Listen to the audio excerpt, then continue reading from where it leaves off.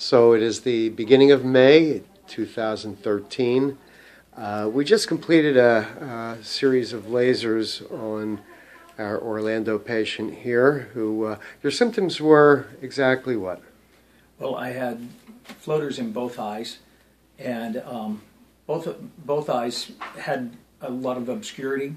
Uh, there was great cloudiness that was with both of the floaters in each eye, so it was uh, it was difficult to see at times, particularly when I'd try to read uh, or even at driving.